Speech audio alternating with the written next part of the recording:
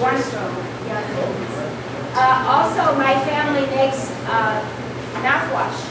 Really? So, easy to make. You get hydrogen peroxide, you cut it with equal parts pure water, use distilled water, and shake it up, and you can add some tea tree oil. And we have no gum problems. We've used it for years, it's so cheap, and it's just really good. So equal parts, hydrogen peroxide, pure water, and about to a quart, you would add about six drops of tree oil. And pennies. Now, um, anything, any questions on the herbs? Yep, I would love it if you could tell me how to make peppermint oil and lemon balm oil. Well, hmm, you can make a preparation using like olive oil. You can, um, like we talked about yesterday at the market, you can gently heat the oil to extract the properties of the herb. So you gently heat it oil, never boil it, and cover the herb, dry herb, with the hot oil. Let that sit for about 10 days, you can do that. Uh, I never steam distilled uh, anything, any plants. It takes great quantities, like a ton to maybe two ounces. You know, so I don't know about steam distillation, but to What make, about cold pressing? uh, those are industrial processes, really.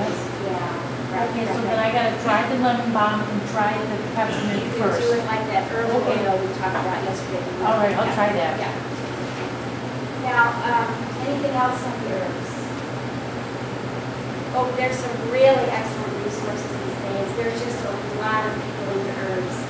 And it's wonderful to have uh, what you know and all this information that's handed down confirmed by research and by uh, knowledgeable sources. So these are a few of our favorite books.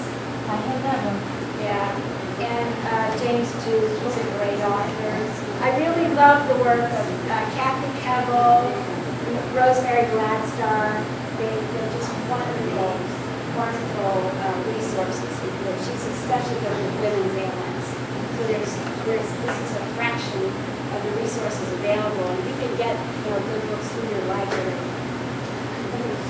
Um, in conclusion, herbs can really complement a healthy lifestyle, and they are very safe and effective. Most of them have been used since ancient times. So that's pretty good testing, you know, human testing for centuries. That. And um, after all, nature was the first pharmacy, and nature remains today a bountiful source for remedies for our human care. So thank you very much. take your